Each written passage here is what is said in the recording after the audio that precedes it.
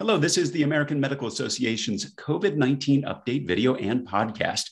Today, we have our weekly look at the numbers, trends, and latest news about COVID 19 with AMA's Director of Science, Medicine, and Public Health, Andrea Garcia in Chicago. I'm Todd Unger, AMA's Chief Experience Officer, also in Chicago. Andrea, it's going to be our last episode until Thanksgiving. The holiday is on everyone's mind right now, just uh, next week. What are public officials, public health officials saying you know, if we're vaccinated, is this going to be uh, Turkey Day as normal?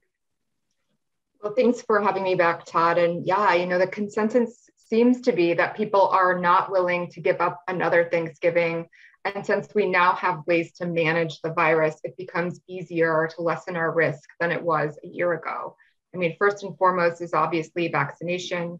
If everyone you're gathering with who is eligible is vaccinated, and those who are vulnerable have received their booster, it becomes less risk, less risky to gather.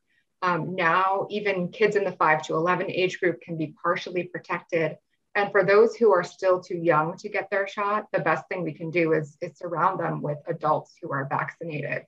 We know some people are also incorporating testing into their holiday plans. So having people take rapid tests the morning of or shortly before getting together. Uh, yeah, I went to a gathering a couple of weeks ago, and we all took tests before we went. We're all vaccinated, which is good. Uh, so that sounds like an, a good procedure. Um, and a lot of that seems like we're more and more into this uh, assessing risk uh, and making good decisions based on those assessments. Not perfect, but uh, you know better than uh, certainly where we were. How how do we look at this? Yeah, I think that's that's exactly it. And Tara Parker Pope, who's a writer for the New York Times, made a great analogy about risk calculation that I think captures really well um, and can help physicians who are trying to accurately communicate risk to patients. So she compared calculating our risk for COVID 19 to winter driving. She said, We know thousands of people are injured or killed each year on icy roads, but we don't stay home all winter, right? We check the forecast we look at whether roads have been plowed. We make sure our cars and tires are in good condition. We buckle our seatbelts and we hit the road. And we go shopping for groceries or we go to school. We gather to see family for the holidays. And this is how some experts see COVID playing out in the future. We'll look at local conditions, local transmission levels, take precautions to the extent that we can, and, and you know, live with some level of risk to avoid the costs of missing important time with family and friends. Now, you mentioned just a little bit up front about kind of uh, on the new treatment front. Let's talk specifically about the pills uh, that are being developed and showing a lot of promise there. Uh, what, what are the details? Where, where does it stand right now? Yeah, so earlier this month, Pfizer reported that its antiviral pill to treat COVID was highly effective at preventing severe illness among at risk people who received the drug soon after exhibiting symptoms. According to the company, the trial revealed that the pill cut risk of hospitalization or death by 89% when given within three days at the start of symptom onset. We know this is the second antiviral pill demonstrated that's demonstrated a reduced risk of severe illness from COVID. Merck's antiviral pill is also currently awaiting federal review and authorization. So both of these pills, once authorized, uh, will be able to be dispensed at pharmacies and taken at home, which will, will be an important tool to help us manage and treat COVID in the future. Do we have any sense of like the timing on that? Are we talking about months, uh, weeks? So we we know that um, the FDA is meeting on to review the data on the Merck pill on November 30th. So we expect that one to um, go through that review and, and possible authorization first. Um, and of course, uh, number one tool is vaccination. Right. Um, let's talk a little bit about where we stand with vaccinations uh, this week. So, according to the CDC, this week, a total of 227.1 million Americans have received one dose. That's 68.4% of the total population. Of those, 195.3 million are fully vaccinated, or 58.8% of the population. And we continue to see those numbers for booster doses go up. The CDC is estimating that 30.1 million people have received a booster dose. And very interesting to see states starting to weigh in about expanding the eligibility for boosters. What, what are you seeing there? Yeah, so some states have begun encouraging all adults to get a booster shot. Those include California, Colorado, New Mexico, and Arizona. Most recently, New York City also expanded access, encouraging all who all adults who want a booster to get one. And they're also asking health professionals to not turn them away, provided that it's been, of course, at least six months since their second shot of a, a Pfizer or Moderna vaccine, or at least two months since they've received a single dose Johnson and Johnson shot. Last week, Pfizer did request that the FDA expand eligibility of its booster shot to all adults, but the FDA has not yet weighed in with a decision on that. So, uh, of course, the other big topic of the last couple of weeks has been around vaccine mandates. We had a great conversation with Dr. Bashar Shukir earlier this week. Um, any updates uh, from your end about uh, uh mandates? So, the legal challenges around mandates continue, the most recent of which is happening in Florida, where lawmakers are kicking off a special legislative session to take up legislation aimed at restricting vaccine mandates. We know that several states, including Florida, have already challenged federal mandates in court. And last week, the appeals court barred President Biden's vaccine mandate, the OSHA emergency temporary standard for large employees, saying it grossly exceeds the authority uh, that OSHA has. However, it's unlikely that that's going to be the end of it, right? There are multiple challenges happening, and the Supreme Court is expected to eventually decide the matter. And I know over the weekend, the Surgeon General also weighed in uh, on uh, you know efforts to block these mandates. What are the details there?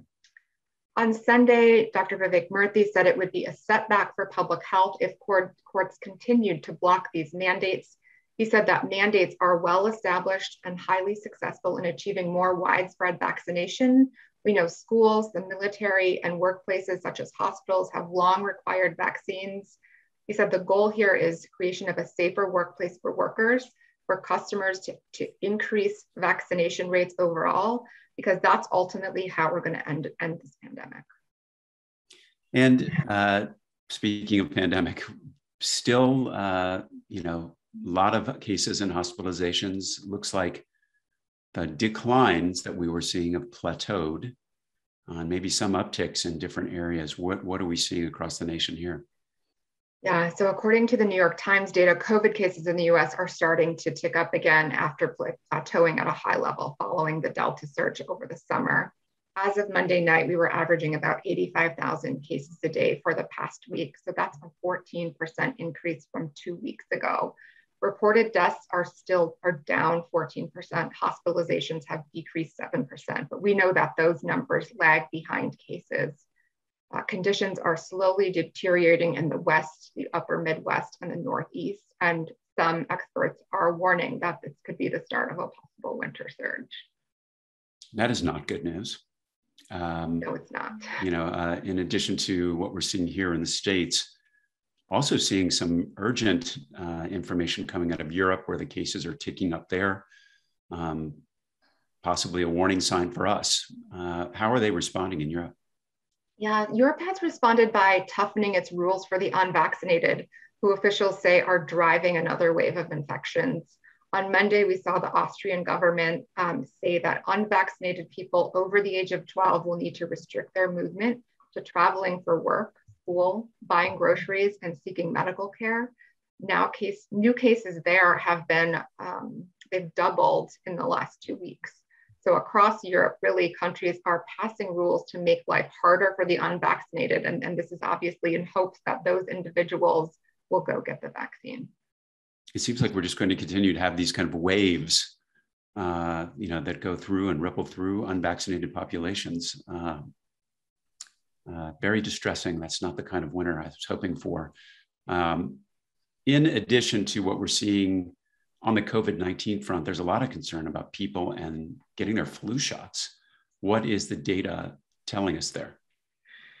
As of October 29th, uh, 158.7 million flu vaccine doses have been distributed in the United States according to the CDC, you know, that's concerning because that's down roughly 8% from the 172.3 million doses that hadn't been distributed at the same time last year.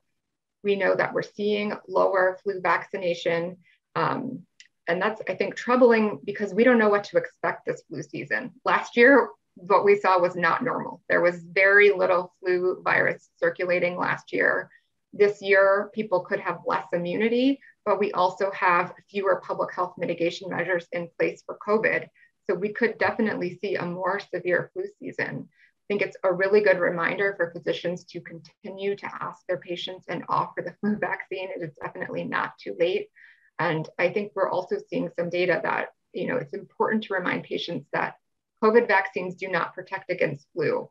Um, you need both vaccine. Flu protects against flu and COVID vaccine protects against COVID. So the last thing um, we want to do is overwhelm our already stressed health system. So we really need people to get both vaccines.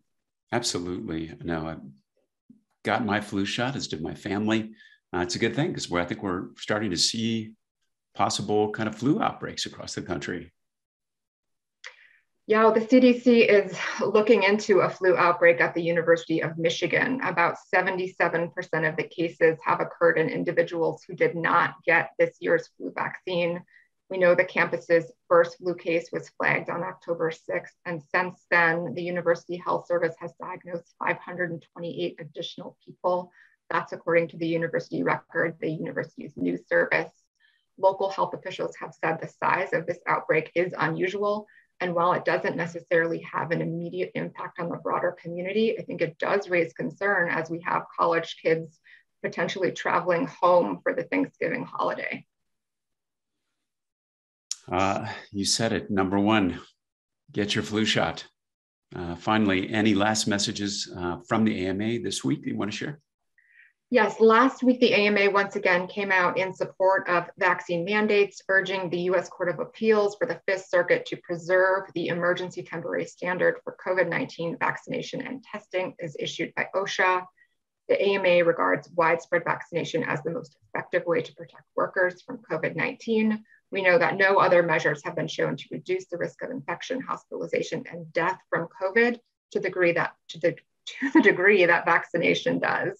The AMA has also issued multiple press releases from the November 2021 special meeting of the AMA House of Delegates, which can be found on the AMA's website. Uh, that's it for today's COVID 19 update. Andrea, thanks so much for joining us today. Uh, we'll be back with another COVID 19 update video and podcast uh, on December 2nd. For resources on COVID 19 in the meantime, go to ama assn.org slash COVID 19. Thanks for joining us. Please take care.